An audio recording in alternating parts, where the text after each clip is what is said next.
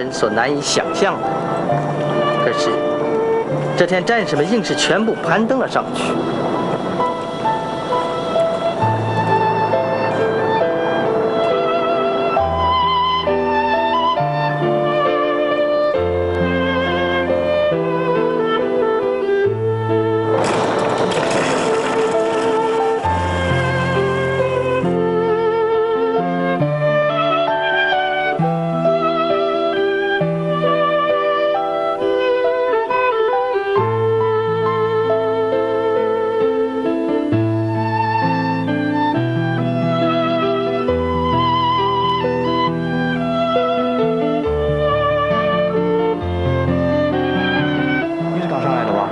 叫什么名字？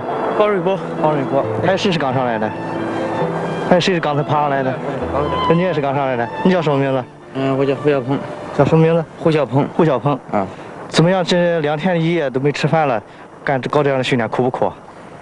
嗯，这个苦还是有点苦，但是，嗯，这个训练吧，不不吃苦，哎，反正，这个训练不吃苦也不行啊。不训练不吃苦不行。你呢？你感觉怎么样？其实训练困扰，但是，呃，这是一个训练科目，我必须得完成的。作为警察兵来讲嘛，搞这个训练就是我们这个在这个恶劣环境下搞这个野外生存训练，一个是提高我们的素质和这个适应能力。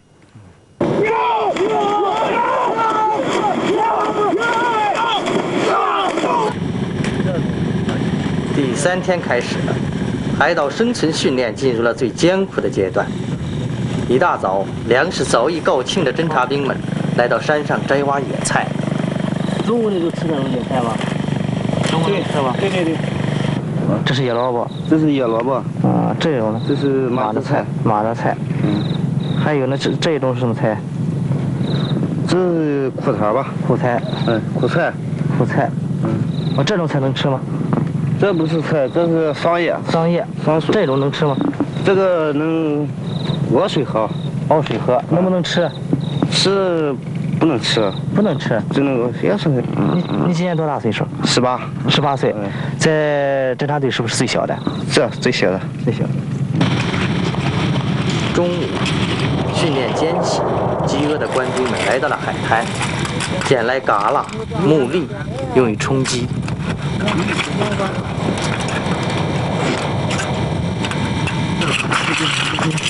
哎呦，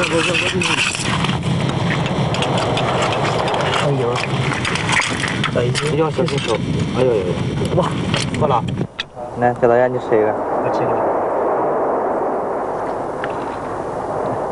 好吃？别也别不要嚼，嗯，这样不要嚼，嚼嚼这样这个味儿太太太难闻。啊，什么地方？不讲是日照，日照的，老家也是海边的吧？这是海边的。来来，这样这样，那那你这样你这样。哎，我先我给我给你给你给你。好，好。不要嚼，你看放嘴放放嘴里咽下去，嚼那个味儿不不怎么强。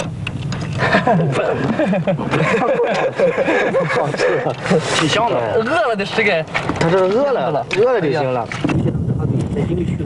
记者在这里认识了入伍十年的老侦察兵马继才，以后你跟他他讲了他爱人的一件事儿。呃家庭型救援的时候，这个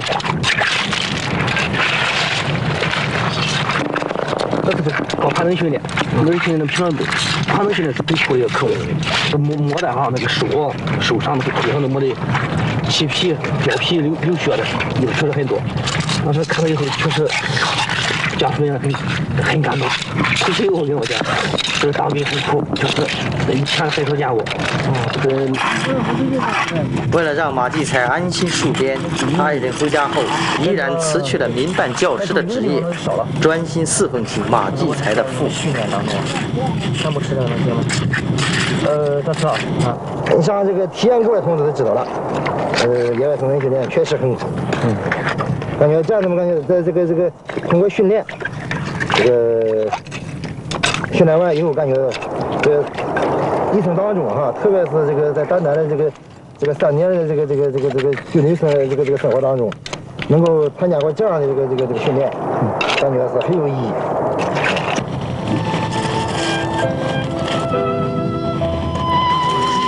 天的晚餐，侦察兵就靠着这些野菜、树叶填饱了肚子。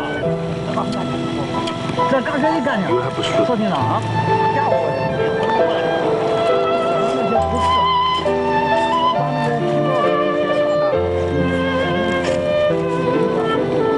夜幕再次降临了，被汗水、海水和雨水浸透了征衣的战士们聚集在了篝火旁。孤岛生存篝火晚会现在开始。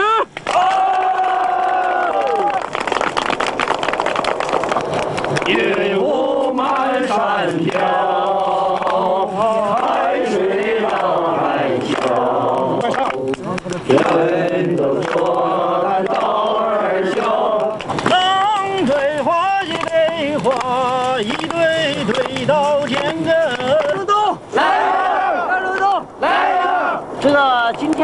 们在坐这个地方有几个烟台市的？举手。烟台市的举举手。烟台举手。我们我们现在我和烟台市很近。这个家呃，我家是烟台市的，我家就在烟台山的这个左侧。呃，现在现在说隔海相望的家乡吧，我现在这个非常有点想家了。